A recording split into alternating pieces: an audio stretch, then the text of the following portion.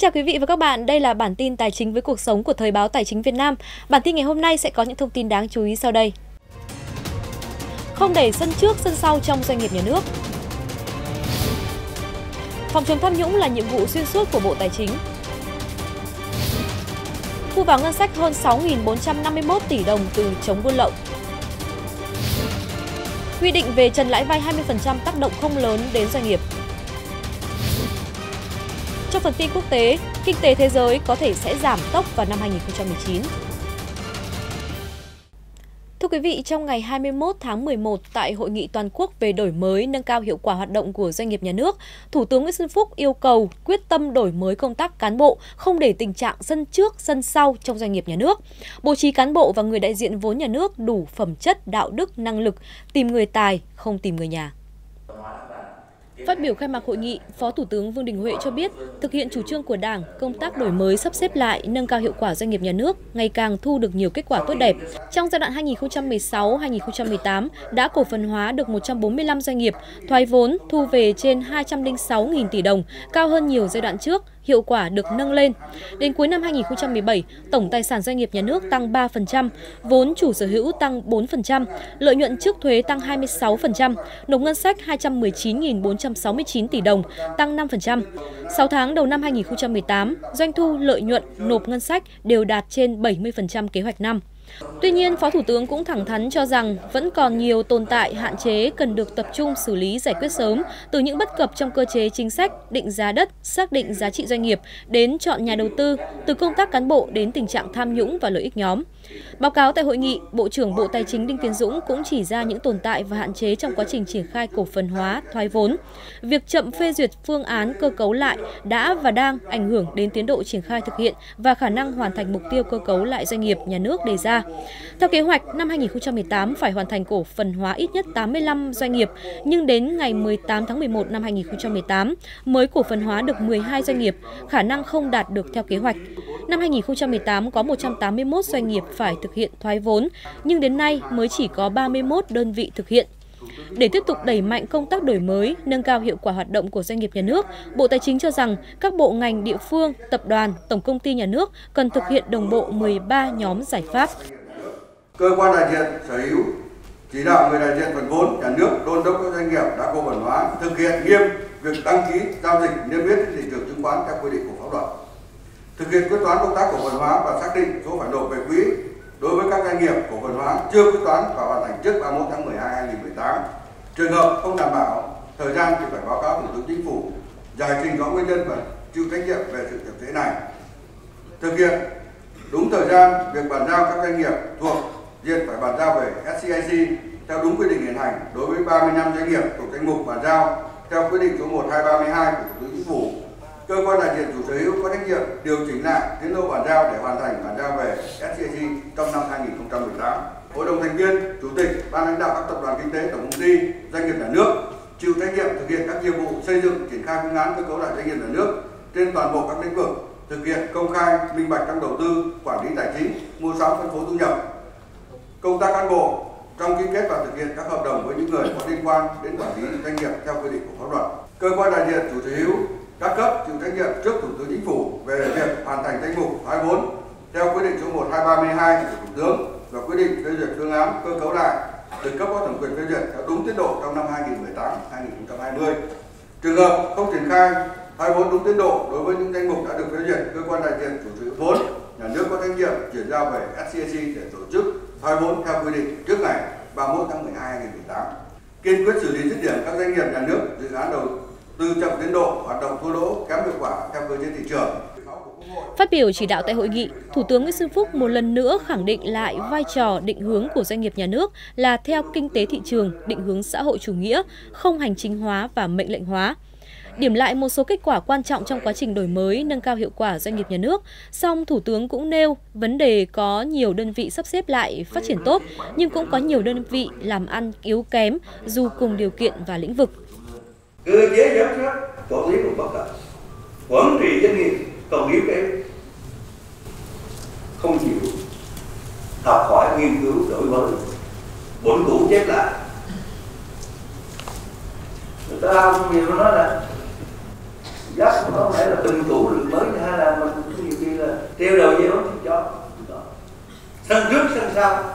không những là một sân trước mà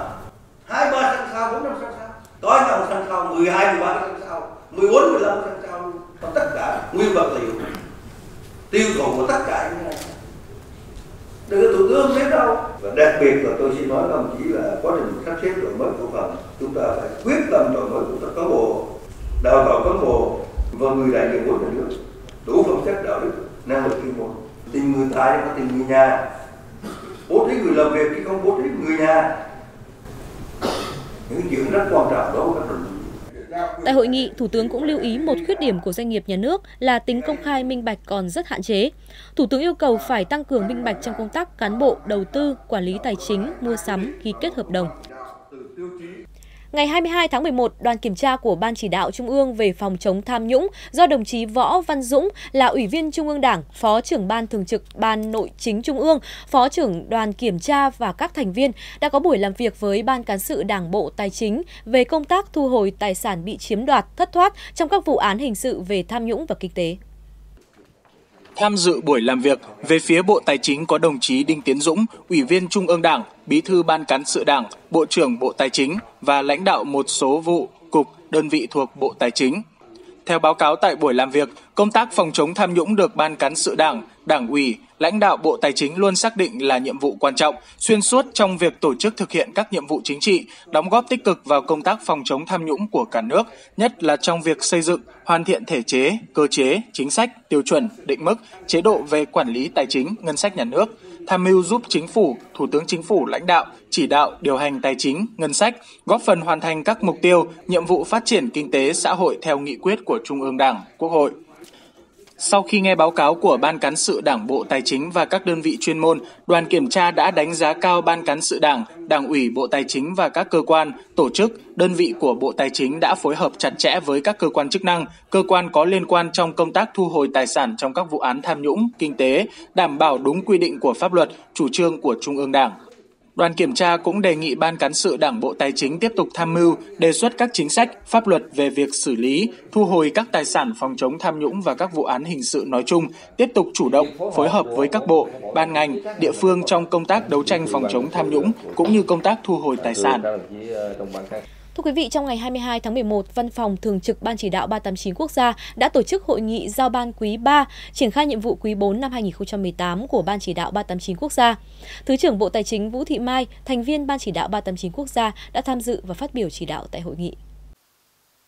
Theo báo cáo của Văn phòng Thường trực 389 Quốc gia, trong quý 3 năm 2018, các đơn vị chức năng cả nước đã nỗ lực phát hiện, bắt giữ, xử lý 79.515 vụ việc vi phạm, thu nộp đạt hơn 6.451 tỷ đồng, khởi tố 281 vụ với 339 đối tượng. Theo đánh giá của Văn phòng Ban chỉ đạo, mặc dù số vụ việc phát hiện bắt giữ gia tăng, song vẫn chưa tương xứng với thực tế, buôn lậu gian lận thương mại vẫn diễn ra phức tạp. Đáng lưu ý là cơ quan hải quan còn phát hiện nhiều vụ việc phạm pháp như cất giấu hàng cấm, hàng có giá trị, thuế suất cao, xen lẫn trong các lô hàng phế liệu. Tổng cục trưởng Tổng cục Hải quan Nguyễn Văn Cẩn cho biết thêm, đáng cảnh báo là hiện nay nổi lên các hành vi lợi dụng hình thức tạm nhập tái xuất, đưa vào các kho ngoại quan tái xuất đi các nước, sau đó đưa về Việt Nam tiêu thụ. Do vậy, đề nghị các bộ ngành cơ quan chức năng chung tay cùng cơ quan hải quan vào cuộc xử lý. Phát biểu tại hội nghị, Thứ trưởng Vũ Thị Mai đã ghi nhận đánh giá kết quả chống buôn lậu và gian lận thương mại đạt được trong quý 3 là hết sức tích cực. Trong quý 4, Thứ trưởng Vũ Thị Mai đề nghị Ban chỉ đạo 389 các bộ ngành địa phương tiếp tục thực hiện nghiêm túc các chỉ đạo của Chính phủ, Thủ tướng Chính phủ, trưởng Ban chỉ đạo 389 quốc gia. Thứ trưởng Vũ Thị Mai cũng đề nghị Ban chỉ đạo 389 các bộ ngành địa phương nắm vững diễn biến tình hình hoạt động buôn lậu, gian lận thương mại và hàng giả để nhận diện và đấu tranh ngăn chặn. Ban chỉ đạo 389 các bộ ngành địa phương ấy, thì phải tiếp tục triển khai có hiệu quả cái chỉ thị 17. Rồi ờ, cái kế hoạch của Ban chỉ đạo 389 quốc gia ờ, năm 2018 và cái quan trọng nhất là nắm vững diễn biến cái tình hình hoạt động chống buôn lậu, gian lận thương mại và hàng giả theo lĩnh vực địa bàn đơn vị phụ trách để nhận diện các cái hiện tượng nổi cộ, các cái mặt hàng mới nổi để đấu tranh ngăn chặn tăng cường cái công tác phối hợp giữa các lực lượng, lãnh đạo địa phương. Và phải chịu trách nhiệm, các cấp, các ngành, địa phương phải chịu trách nhiệm khi mà để xảy ra các vụ vi phạm về buôn lậu gian lận thương mại trên địa bàn. Chỉ đạo kiểm tra các cơ quan chức năng xử lý nghiêm các vụ việc đã phát hiện, tránh kéo dài, gây dư luận xấu trong xã hội, ra soát các vụ việc nổi cộng xử lý đúng người đúng tội. Thế thì văn phòng ba tháng chín các đồng chí là là có cái chức năng tham mưu chung các đồng chí theo dõi đôn đốc những cái vụ việc phát hiện rồi các đồng chí cũng theo dõi đôn đốc để xử lý ờ, đề nghị các cấp các ngành ờ, các bộ ngành cũng như cái địa phương là xử lý kịp thời. Bên cạnh đó, đối với Văn phòng Thường trực Ban Chỉ đạo 389 Quốc gia, Thứ trưởng đề nghị tiếp thu ý kiến đóng góp của các lực lượng chức năng, hoàn thiện dự thảo trình ban hành kế hoạch cao điểm chống buôn lậu, gian lận thương mại trước, trong và sau Tết Nguyên đán kỷ hợi 2019. Bộ Tài chính vừa ban hành quyết định số 2141 phê duyệt phương án cắt giảm đơn giản hóa thủ tục hành chính thuộc phạm vi chức năng quản lý nhà nước của Bộ Tài chính. Trên cơ sở ra soát đánh giá toàn bộ 978 thủ tục hành chính thuộc lĩnh vực tài chính, Bộ Tài chính đã phê duyệt phương án cắt giảm đơn giản hóa 176 thủ tục thuộc lĩnh vực quản lý, trong đó giả soát cắt giảm 148 thủ tục và đơn giản hóa 28 thủ tục thuộc 13 lĩnh vực. Như vậy, tổng số thủ tục hành chính thuộc lĩnh vực quản lý của Bộ Tài chính còn lại là 839 thủ tục, trong đó lĩnh vực thuế là 291 thủ tục, lĩnh vực hải quan là 178, lĩnh vực chứng khoán là 148, lĩnh vực kho bạc nhà nước là 12 và lĩnh vực tài chính khác là 210 thủ tục. Thời gian tới, Bộ Tài chính tiếp tục ra soát đơn giản hóa thủ tục hành chính, kiểm soát chặt chẽ việc ban hành các thủ tục mới, đẩy mạnh ứng dụng công nghệ thông tin trong giải quyết thủ tục và cung cấp các dịch vụ công trực tuyến ở mức 3 và 4, triển khai cơ chế một cửa, một cửa liên thông trong giải quyết thủ tục hành chính nhằm đáp ứng yêu cầu trong tình hình mới, đặc biệt là đáp ứng của cách mạng công nghiệp 4.0. Theo ông Nguyễn Văn Phụng, vụ trưởng vụ quản lý thuế doanh nghiệp lớn, Tổng cục Thuế, về cơ bản trong hơn 600.000 doanh nghiệp hiện nay thì sự tác động của quy định về trần lãi vay 20% được khấu trừ thuế trong giao dịch liên kết trong Nghị định 20 năm 2017 là không lớn. Thời gian qua thì nghị định này đã tạo cơ sở pháp lý rất tốt cho cuộc đấu tranh chống chuyển giá, chống sói mòn cơ sở thuế. Trao đổi với phóng viên Thời báo Tài chính Việt Nam, ông Nguyễn Văn Phụng cho biết, gần đây một số báo có nêu tác động của Nghị định 20 đối với các doanh nghiệp trong nước. Thông tin này đã đặt ra cho cơ quan thuế cần phải có sự nhìn nhận nghiêm túc về vấn đề này. Tuy nhiên, ông Phụng nêu băn khoăn, tại sao trong các đơn vị có ý kiến về vấn đề này chỉ có các doanh nghiệp trong nước kêu mà doanh nghiệp nước ngoài không kêu? Trong các doanh nghiệp kêu thì doanh nghiệp nào là kêu nhiều nhất?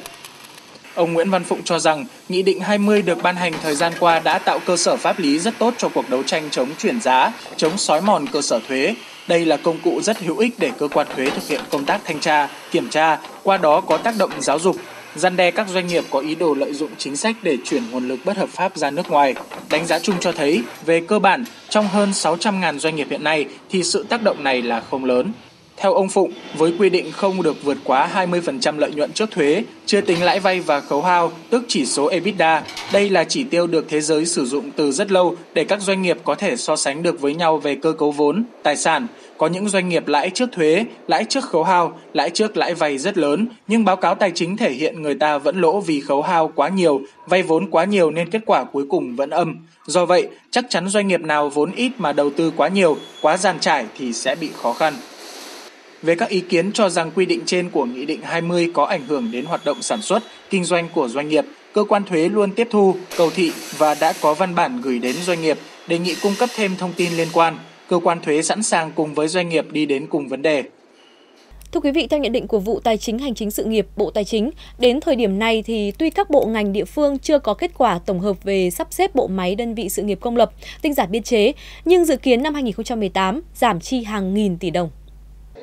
Đơn cử như thành phố Hà Nội đã thực hiện sắp xếp kiện toàn các đơn vị sự nghiệp trực thuộc sở, ban ngành, giảm từ 401 đơn vị xuống còn 280 đơn vị, cấp huyện giảm từ 206 đơn vị còn 96 đơn vị. Đồng thời, Hà Nội đã đẩy mạnh giao tự chủ chi thường xuyên đối với 106 đơn vị với 8.761 biên chế. Dự kiến đến năm 2021, Hà Nội sẽ có thêm 91 đơn vị tự chủ chi thường xuyên, giảm chi ngân sách đối với 11.221 biên chế hay tại tỉnh Bắc Ninh đã thực hiện giảm 27 cơ quan, giảm 79 chỉ tiêu biên chế công chức và 864 vị trí việc làm. Tỉnh Quảng Ninh cũng đã giao tự chủ tài chính cho 84 đơn vị sự nghiệp công lập, có thêm 1.442 viên chức không hưởng lương từ ngân sách, kinh phí ngân sách cấp năm 2018 giảm 120 tỷ đồng so với năm 2017. Theo ông Phạm Văn Trường, vụ trưởng vụ tài chính hành chính sự nghiệp của Bộ Tài chính, trong thời gian tới, khi các bộ quản lý ngành, lĩnh vực đã hoàn thiện và trình cấp có thẩm quyền ban hành đầy đủ danh mục dịch vụ sự nghiệp công sử dụng ngân sách nhà nước, việc hỗ trợ từ ngân sách sẽ gắn với số lượng chất lượng sản phẩm dịch vụ sự nghiệp công được cung cấp, giá cung cấp dịch vụ và nhu cầu sử dụng để đảm bảo hiệu quả và tránh lãng phí. Cùng với đó, nhà nước sẽ đẩy mạnh cơ chế đặt hàng thực hiện dịch vụ sự nghiệp công, có lộ trình cụ thể thực hiện cơ chế đấu thầu cung cấp dịch vụ sự nghiệp công sử dụng ngân sách để tạo điều kiện cho cơ sở ngoài công lập cùng tham gia cung cấp và giảm dần các sản phẩm dịch vụ sự nghiệp công sử dụng ngân sách thực hiện theo phương thức giao nhiệm vụ và giao kế hoạch. Vào ngày 22 tháng 11, Cục Hải quan Thành phố Hồ Chí Minh đã phối hợp với Hiệp hội Doanh nghiệp Nhật Bản tổ chức đối thoại trực tiếp với khoảng 200 doanh nghiệp Nhật Bản nhằm thông tin về chính sách mới, tháo gỡ khó khăn và vướng mắc cho các doanh nghiệp trong sản xuất và thông quan hàng hóa. Phát biểu tại hội nghị, ông Đinh Ngọc Thắng, Cục trưởng Cục Hải quan Thành phố Hồ Chí Minh đánh giá cao tính tự giác tuân thủ pháp luật hải quan của doanh nhân Nhật Bản, đồng thời mong muốn mối quan hệ hợp tác giữa Cục Hải quan Thành phố Hồ Chí Minh và Hiệp hội Doanh nghiệp Nhật Bản ngày càng bền vững. Cộng đồng doanh nghiệp Nhật Bản tiếp tục đầu tư và mở rộng đầu tư vào Việt Nam, vào Thành phố Hồ Chí Minh. Qua các hội nghị đối thoại, cơ quan hải quan đã kịp thời nắm bắt, tiếp thu các ý kiến của doanh nghiệp liên quan đến chính sách quản lý hàng hóa xuất khẩu, nhập khẩu, quản lý chuyên ngành, chính sách thuế và thủ tục hải quan, từ đó giải quyết kịp thời các vướng mắc, khó khăn, tiếp tục giảm thủ tục hành chính, giảm chi phí, góp phần thúc đẩy sản xuất, kinh doanh và thuận lợi cho đầu tư tại Việt Nam. Tại hội nghị, ông Kadowaki Keiichi, Chủ tịch Hiệp hội Doanh nghiệp Nhật Bản đã đánh giá cao việc tổ chức hội nghị, đồng thời mong muốn tiếp tục duy trì hoạt động này thường xuyên hơn. Tại hội nghị, bên cạnh việc giới thiệu những nội dung mới của các văn bản pháp luật, cán bộ Cục Hải quan Thành phố Hồ Chí Minh đã giải đáp trên 22 câu hỏi gửi trước và hơn 20 câu hỏi trực tiếp liên quan đến nhiều vấn đề khác nhau. Tất cả những nội dung trên đều được lãnh đạo Cục Hải quan Thành phố Hồ Chí Minh và các cán bộ chuyên trách giải thích rõ ràng, dễ hiểu, hầu hết mang lại sự hài lòng cho người đặt vấn đề.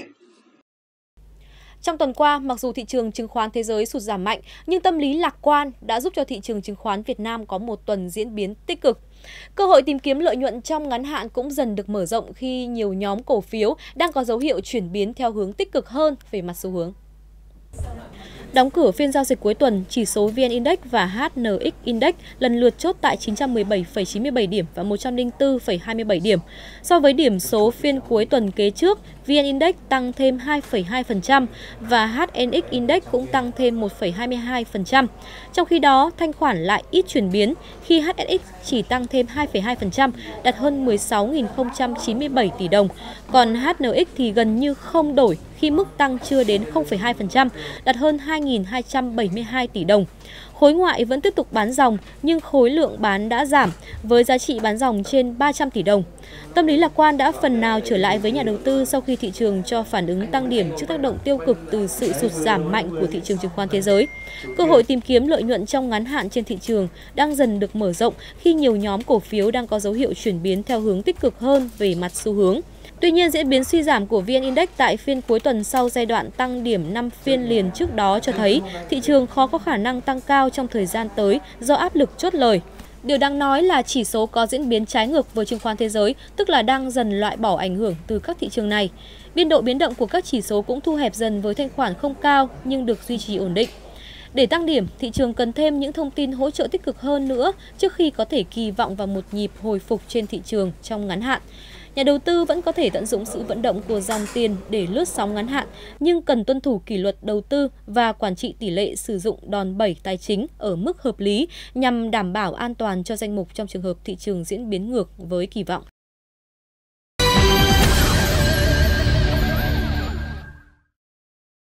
Chuyển sang phần tin tức quốc tế, kinh tế thế giới trong năm nay và năm tới có thể giảm tốc mạnh hơn dự kiến, một phần do chính sách tiền tệ thắt chặt và sự sụt giảm khả năng thanh toán nợ. Đây là nhận định được hãng tư vấn Oxford Economics đưa ra trong một bản báo cáo công bố ngày 22 tháng 11. Trong báo cáo, Oxford Economics dự báo kinh tế thế giới sẽ giảm tốc từ tốc độ tăng trưởng 3,1% năm nay xuống còn 2,8% vào năm 2019 và 2,7% vào năm 2020. Báo cáo nhận định chính sách thắt chặt tiền tệ, khả năng thanh khoản sụt giảm, mức nợ và giá tài sản cao là những yếu tố có thể tạo ra làn sóng bán tháo ồ ạt trên các thị trường tài chính và kết quả là kinh tế giảm tốc mạnh hơn dự kiến. Đối với Mỹ, Oxford Economics dự báo tốc độ tăng trưởng của nền kinh tế lớn nhất thế giới có thể đạt 3% trong quý 4 năm nay và Ngân hàng Dự trữ Liên bang Mỹ Fed dự kiến sẽ tiếp tục tăng lãi suất thêm 3 lần nữa vào năm tới. Theo hãng này, những cơn gió ngược từ sự giảm dần chính sách kích thích tài khóa và tiền tệ cùng với tình trạng căng thẳng thương mại giữa Mỹ và Trung Quốc sẽ kiềm chế đà tăng trưởng trong năm 2019. Hãng tư vấn này dự báo nền kinh tế đầu tàu thế giới sẽ tăng trưởng 2,9% trong năm nay, sau đó giảm xuống 2,5% vào năm tới.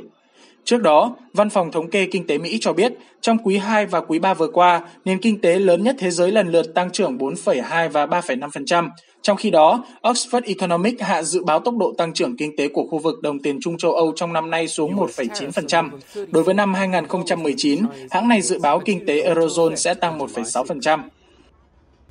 Thưa quý vị, Tổ chức Thương mại Thế giới WTO cho biết trong 6 tháng gần đây, các nền kinh tế lớn đã áp dụng biện pháp hạn chế nhập khẩu, khiến cho thương mại thế giới mất gần 500 tỷ đô la Mỹ. WTO đã tỏ ra đặc biệt quan ngại khi mà từ giữa tháng 5 tới giữa tháng 10, 40 biện pháp hạn chế nhập khẩu mới đã được các quốc gia G20 dựng lên nhằm ngăn chặn dòng chảy của hàng hóa. Đây là con số lớn nhất mà WTO ghi nhận được kể từ năm 2012 khi tổ chức này bắt đầu theo dõi diễn biến của các biện pháp hạn chế nhập khẩu trên thế giới. Như vậy, trung bình mỗi tháng, các nền kinh tế hàng đầu thế giới đã đưa ra 8 biện pháp hạn chế nhập khẩu mới, trong đó có hàng rào thuế quan, lệnh cấm nhập khẩu và thuế xuất. Tổng giám đốc WTO Roberto Azevedo cảnh báo leo thang căng thẳng thương mại đã là một mối đe dọa hiện hữu. Ông cho rằng nếu tình hình này còn tiếp diễn, các rủi ro kinh tế sẽ gia tăng, tác động tiềm tàng tới tăng trưởng và việc làm, giá tiêu dùng trên toàn thế giới. Báo cáo của Tổ chức Thương mại Thế giới dường như nhấn mạnh tới tác động của chính sách thương mại mang tính đối đầu của chính quyền đối với thương mại thế giới, trong đó có cuộc chiến thương mại với Trung Quốc, sắc thuế nhôm và thép mà Mỹ áp dụng đối với nhiều quốc gia. Theo số liệu mới nhất của công ty theo dõi và phân tích doanh thu trực tuyến Adobe, doanh thu bán hàng trực tuyến trong dịp lễ tạ ơn tại Mỹ dự kiến sẽ đạt mức kỷ lục 3,5 tỷ đô la Mỹ, tăng khoảng 20% so với cùng dịp năm ngoái. Adobe cũng dự báo tổng doanh thu từ thương mại điện tử và thương mại di động trong dịp Black Friday vào khoảng 5,9 tỷ đô la Mỹ và khoảng 7,8 tỷ đô la Mỹ trong dịp Cyber Monday, ngày thứ hai sau ngày lễ tạ ơn. Số liệu từ Internet Retailer, trang tin cung cấp tin tức thương mại điện tử và dữ liệu phân tích cũng ước tính tổng số tiền được chi trong giai đoạn lễ tạ ơn và Cyber Monday sẽ đạt 21,6 tỷ đô la Mỹ, cao hơn 25% so với con số ước tính của Adobe. Nếu tính cả đợt lễ này, bắt đầu từ cuối tháng 11 và kéo dài trong khoảng một tháng, doanh thu trực tuyến có thể đạt mức kỷ lục 124 tỷ đô la Mỹ, tăng khoảng 15% so với cùng kỳ năm ngoái. Liên đoàn bán lẻ quốc gia cho biết, người tiêu dùng Mỹ sẽ chi trung bình 1.007 đô la Mỹ trong dịp lễ mua sắm năm nay, tăng 4,1% so với cùng kỳ năm ngoái.